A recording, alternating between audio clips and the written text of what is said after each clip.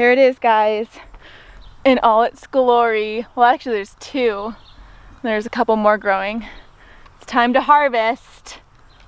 Ooh, let's do it. Oh, artichoke down.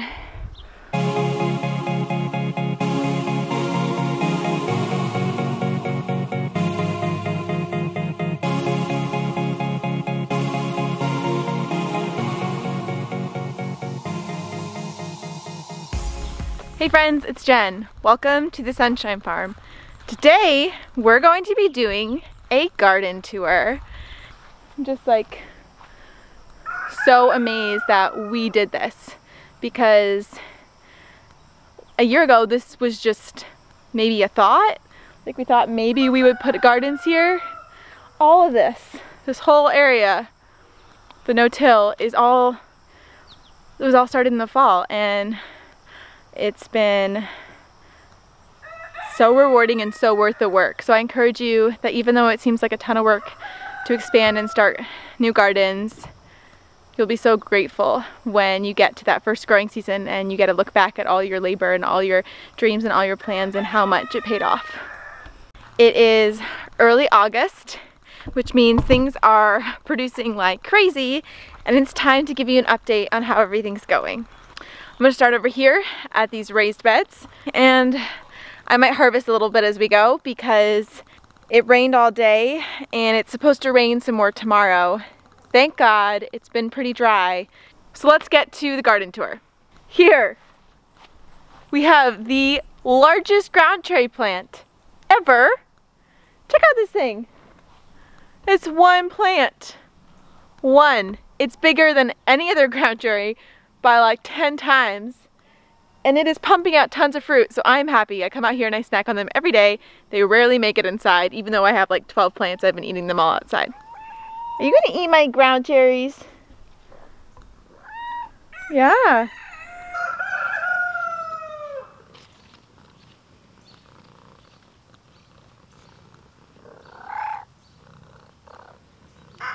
What? Are you so cute? I'm gonna harvest you. I already harvested most of our onions actually. There was a bunch in this bed. There was a lot in this bed. And there are still some in this bed, but I harvested most of them. I am having an issue with leaf miners this year. They are going after my Swiss chard. That's what the damage looks like. And it gets really bad on certain leaves. You might even be able to see them flying around. I definitely can. I'm gonna be really careful to plant Swiss chard in a different location in the main garden because I know that I have a problem in this area. I've had a problem for two years in a row now, so I'm just not gonna plant Swiss chard or beets in this area because those are the things that they love the most. So crop rotation is gonna be my friend in that, with those plants. I found one that had fallen. It's a little underripe, still a little green, but still so good. I love when they're just a touch underripe and they're like a little sour. I actually like them the best that way. That bed, we've got our giant ground cherry Swiss chard and some poppies that have already bloomed. Um, we've got some raspberry plants that I still haven't moved and won't get to moving until fall. Um, a lot of beans over here. They're starting to produce. I planted them. They were a second succession, so let's see if we can find anything in here. No ready green beans yet, but we should have a lot in just a little bit. I see baby beans all over the place. And then in this bed we have some young carrots. Um, and then I just direct seeded some basil over here and some lettuce greens over on the other side. And I see some little sprouts coming up, so I'll show you guys those.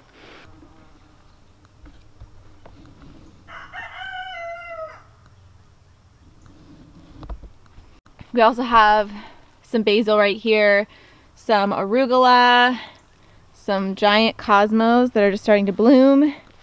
And over here is Persian zinnias. These are just gorgeous. Look at them. Look at those. They're all they're all different and unique. They have different patterns. I love them. And then we have a Chinese five color pepper plant as you can see right now it's just one color and no more fruit as of yet on this thing. So this is my Secret Gardener Seed Challenge bed, mostly.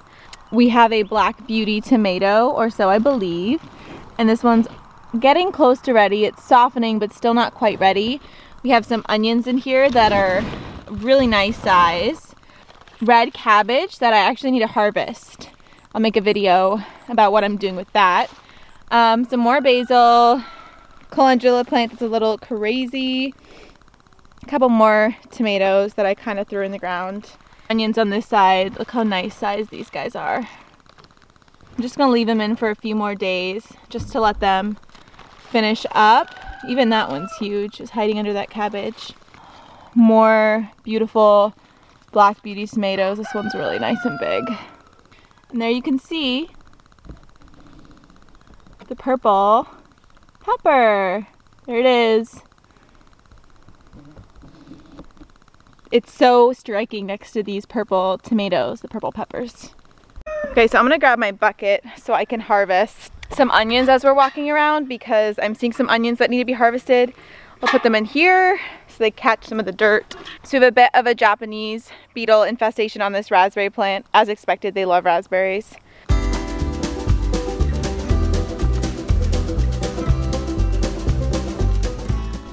I got a few from that raspberry plant. I am going to give them to the chickens. Okay guys.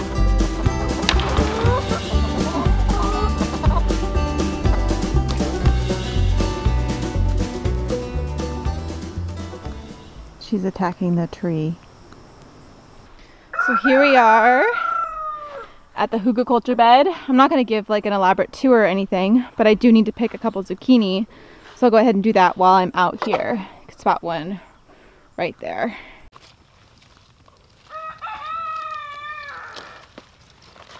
I also have a cucumber that I need to harvest right back there, so pick that little guy. You can see I have some powdery mildew on these plants in here. Um, I'm actually going to be pulling these guys out soon anyways because they're getting a little too big and they're kind of past their prime. I have some small little onions too that I need to pull out from here that are that are done like this one right here. See, really small, but that's okay. I um, planted them really late.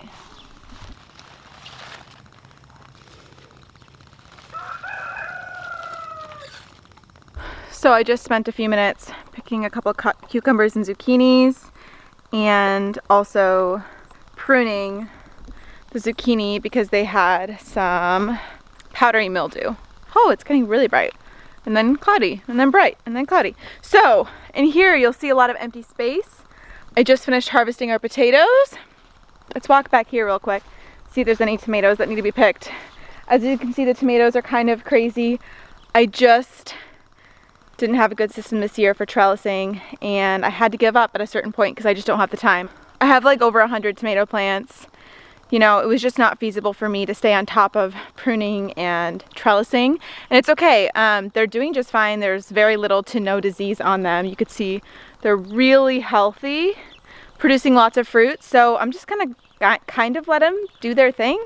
Maybe try to contain them just a little bit it's getting so bright and so hot and so humid. So I'm gonna try to harvest some of these tomatoes pretty quick. The Napa Chardonnay Blush have produced like crazy. Yeah, some of these guys split just because they were, they got so rained on. I'll go ahead and give these two to the chickens. Here's an Opalka. They're gorgeous. Just a couple more back here. As you can see, I've like barely pruned and still these plants are killing it be hard to pick with one hand. Made the mistake of planting these pumpkins too close so I can't get around on the side anymore. But the pumpkins are doing great. Planted them really late. I don't see any blossoms quite yet, so we'll see if we get any pumpkins from them. Oh gosh, this break again? I just tied these guys up. Oh, yeah, the string keeps breaking because the weight of this is too heavy. Oh well, I give up. Let them just grow the way they want to grow. Some more. So next to the tomatoes, some pumpkins, we have our Three Sisters bed with corn. We have beans around the corn, pole beans climbing up the corn as you can see. And some are not really climbing at all. Some are just puny little things. And then we got some squash, which kind of got taken down by vine borers mostly. Some plants are doing okay. So, so we'll see what happens with the squash. I'm not too hopeful. Um, and the beans are doing okay. We got some little baby beans here. We'll see what happens. We do have some corn. Some's really small and never got big enough, but some right here. There's a little ear of corn. Low expectations is good. Got this gorgeous green zebra tomato in here. It's just huge. A bunch of other really pretty ones back there have very little disease this year. I'm like really impressed because I haven't been good about pruning at all. Really, really healthy plants and loaded with fruit. Over here we have okra and a mysterious species called Torby. And then we've got some more zucchini, some succession planted. It has some little fruit on it. There's another little guy over here. It's pretty close to being done. These guys were also attacked by vine borer squash, by vine borer bugs. So I did apply BT to try to kill the vine borers before they were too big to take down the plant. And I think it was mostly successful. And then over here we've got some okra that I'm growing for the first time. They're really healthy. They're putting off blossoms. And I have already picked off two okra. Never tried okra before. Here's one that's really pretty. Should be ready just like a day or so. Uh, let's see. Definitely slow growing for us. Doesn't get real hot here. So in this section, we have some red Russian kale that I planted. Oh, and you can see a common culprit of kale right there. Look at blending in. But honestly, this kale looks really healthy. I don't see a lot of damage from them. So I'm kind of surprised to actually see one. I'm gonna go ahead and pick that sucker off. We've got these beautiful zinnias. These are some more Persian zinnias. And then we have our tomatillos, which are just full and huge. I think we have four or six, I can't remember. Um, and I've already picked some. See this one in here is almost ready. It's starting to yellow. And a lot of them are almost ready. See that one? It's almost ready too. I mean, this is just loaded with fruit. Look at all those. It's like a forest of tomatillos. So this is one of my favorite parts of the garden. It's just so full. And actually, let me show you my very, very, very favorite part and do something really exciting that I've been looking forward to, but also kind of scared to do. And that is harvest our very first artichoke.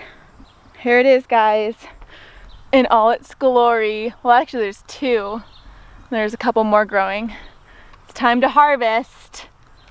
Ooh, let's do it. Oh, artichoke down. It's a beauty. Oh gosh. I can't believe I actually grew this in upstate New York. They said I couldn't do it. All the peoples, and I did it. And it's big. Like this is a big artichoke. This is no like tiny thing. That's so far the only artichoke plant that's producing. The really cool thing about this artichoke producing is it produced in our back to Eden beds, which have never been tilled. I didn't add a lot of compost or anything when I planted. So it's a good indication that we have really good soil and also that you can have a successful first year garden no-till. You can have a successful no-till first year garden. This is proof of it. Look at this. It's not perfect, but it's pretty abundant and Check out the size of this onion that I need to harvest.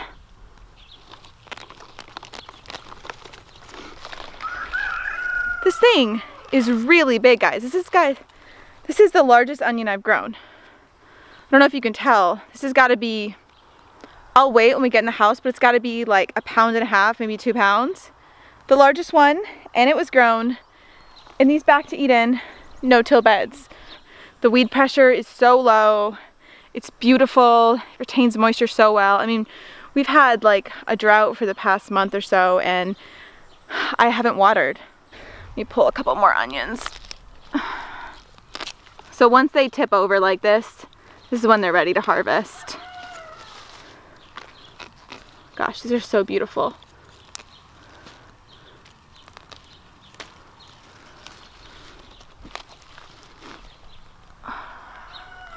Look at these guys. They're all so beautiful.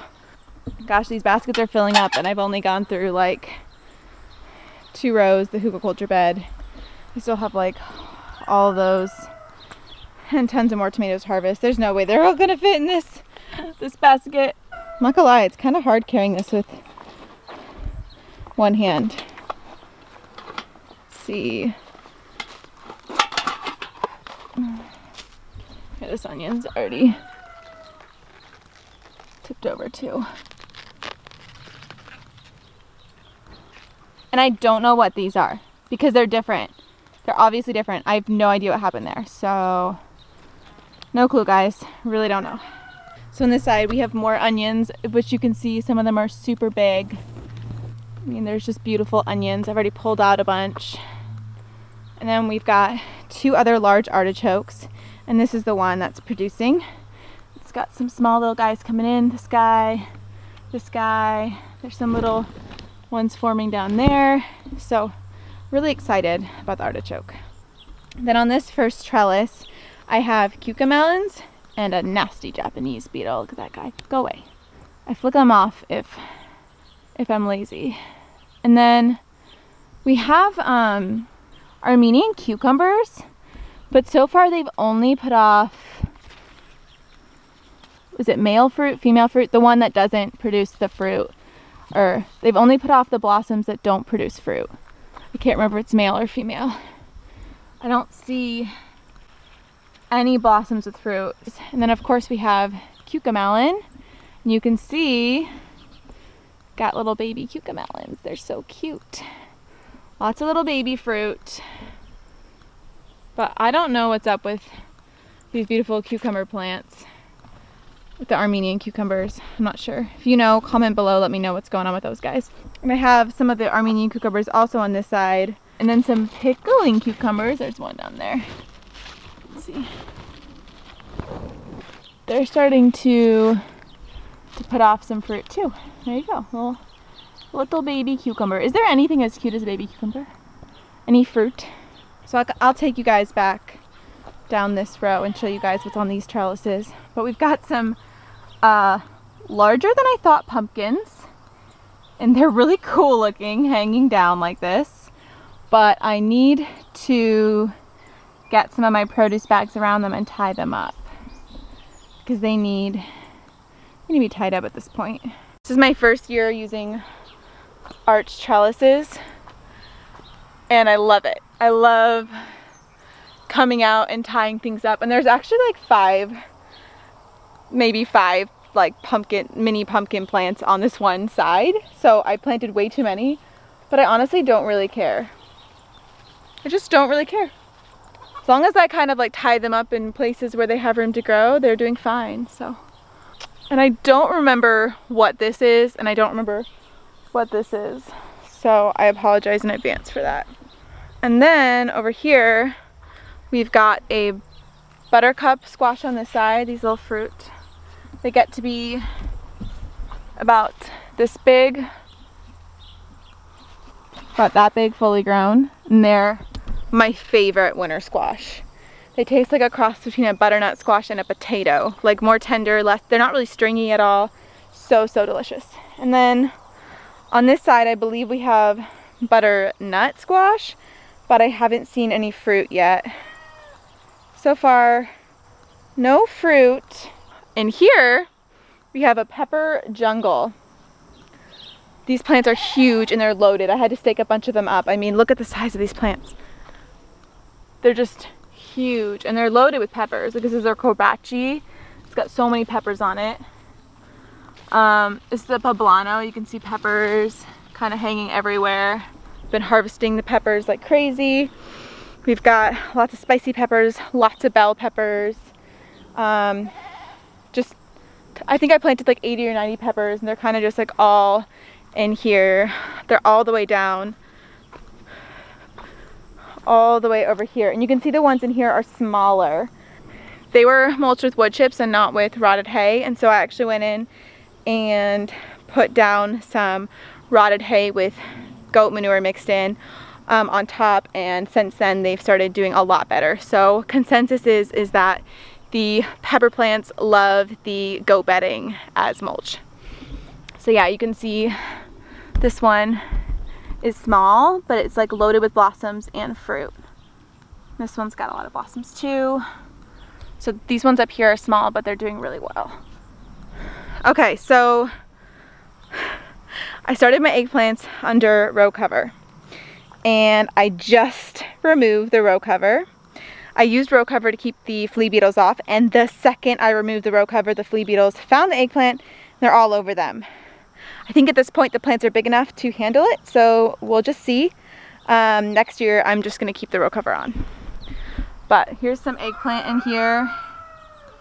They're not real big, they're not real healthy or anything, but um, they're doing good. I've got my peanuts in this area right here. I've got two different kinds, like a regular peanut and a purple peanut. And the plants are doing, the plants are doing really well. They're throwing off lots of blossoms. Um, and then in this area, I had lentils and I pulled all those out. They did not do well. They just didn't produce a lot at all. I have a couple zinnias and I have some beets in here that are pretty big. You can see that one. It's pretty good size. So humid out because it just rained. It's not normally super humid here. Okay, so in here we've got some pole beans that are starting to produce hang down. They're really beautiful. They haven't been very productive so far. See some up there. See one. It's ready to be picked. And lots of blossoms. Not a lot of beans, but it's been dry, so I think that's the reason why and I just planted a couple more. These guys will, will climb. This side we have noodle beans. They haven't done very well as of yet. I think they were thirsty because after today they're looking healthier. Um, but they are climbing up to about here. Hopefully they'll have enough time to produce, but it might just not be the year for noodle beans. Got our peppers all the way down. Here we have a couple small watermelon plants doing okay they're pretty small but they have some fruit on them so we'll see. And then the peppers of course. And then the real star of the show is the moon and star watermelons. They've gone surpassed all the other watermelons by far. I've just been some of these this one like wasn't pollinated right. One of them is already pretty large and beautiful. Look at that. Little stars. We've got a, few little fruit. There's one. The vines are kind of trailing out here, trailing out over there. Really healthy. They're growing pretty good. On this side we have cantaloupe. And they were really slow to start, whereas last year they started really early. So, um, but I did see a cantaloupe the other day. Let's see if I can find it. Oh, there's one See a little guy. And then we have some amaranth behind the trellis. And these were these were all fava beans, but they got some weird disease or blight or something. So I'm gonna pull them out. Um, and then this this right here is a very, very tall volunteer sunflower. I have no idea what kind of sunflower this is, but it's like way taller than me. And the stalk is huge and it has like a million heads coming out. So it's gonna be gorgeous. And it, like I said, it volunteered. Um, and then behind the fava beans, we have a lot of soy edamame or soy. And we got, um, I can't remember what this is called, but it's the one that Jess at Roots and Refuge loves so much. Um, I totally am blanking on the name right now, but I know it. I just can't think of it in this moment. Garbanzo beans. Let's see. I've got a few garbanzos on them. And then this whole section right in here is dry turtle beans. So I'm gonna let these guys all produce let them all dry out, and then I'll be saving them for the for the dry beans. You can see these little Japanese beetles though. They're the worst. Look at them. And in here, I've got six grow bags with sweet potatoes. see them all right there. And some more summer squash that were succession sowed. So we'll have summer squash all summer long. Um, and I've already picked some fruit from there. And then this, this area all right in here is my cabbage. And some of these are ready, ready for harvest. This guy's like a pretty good size. This one's a really good size. This is a good size. So I need to harvest those and make sauerkraut as well as some pickled cabbage with the red cabbage. And there's more over here as well as some very small little onions. Not sure why this variety just did not get very big. Then I planted some cucumbers on both sides of this trellis right here. These ones have not started blossoming very much yet. There's like one blossom. So I don't know if we're gonna get a whole lot. I think it's just because they're on the the um, north side. The ones on the south side have tons of blossoms and lots of little tiny fruit. So they've just been slow this year. They were started all direct sown. We had just such, such a cold, wet spring. And of course you have my tea and herb garden. The chia plants are nice and tall. We've got like zinnias in here, marigolds, calendula, strawflower about to open up, lavenders, some echinacea. There's winter savory. This is some rosemary. We've got some yarrow. This is mullein that I transplanted from another area. We have little baby sage. Here's another echinacea, smaller one. Chamomile. All these different kinds of basil. So this is holy basil or tulsi. And then we've got Thai basil, some regular basil. Um, we've got cinnamon basil, which has a beautiful flower to it. And I think this is more tulsi, a purple basil. This is sorrel, it's a perennial. Um, you can eat it like spinach bee balm that has bloomed and is on its way out, but it's a perennial, so it will come back. Um, chocolate cosmos, which are beautiful. This really pretty white lavender flower, lavender, lavender, um, lemon balm, some more dahlias. And here we have our pineapple sage, which smells so good. It smells just like pineapple. So I'm gonna use that and I'm gonna make some tea with it. So that was all the no-till permaculture garden. Here is the original garden and I'm not to spend a whole time in, a whole lot of time in here because honestly it's been pretty disappointing. Not a lot of successes, a lot of failures, and an overwhelming amount of weeds. We did get a good harvest of peas. Not awesome. I still need to pull the plants out, but we still have a few peas coming in and they're so good. I love peas in the garden. Crunch, crunch, crunch. I have lots of winter squash, but I don't think it's doing very well because it was so dry for so long and I couldn't water back here. As disappointing as it's been, we do have some spaghetti squash. You can see there. One right there. There's another one in there. There's one growing over there. Last year we had a lot of success with winter squash. This year I don't think it's gonna be our year, but I planted a lot in a lot of different places. I have some over on the arch trellises. I have some um, by the corn and then I have some in this garden. So we'll end up with something and then next year I'm gonna brainstorm some solutions to our vine, issue, vine borer issue. And then the bean teepee was kind of a flop because of weed pressure. I just, don't have time to weed. My life, like our lives are so busy as, as all of you, I imagine, have busy lives as well.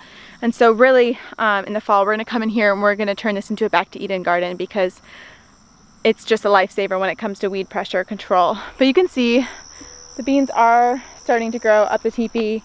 Next year, I'm gonna plant them on the inside of the bean teepee once we get control over the weeds. It's like my favorite thing in the world to see on the ground. I'm obsessed with them. Couple cool things I want to show you. Also, can you see the solar panels on the barn in the background? I planted sesame. The sesame is doing great. Although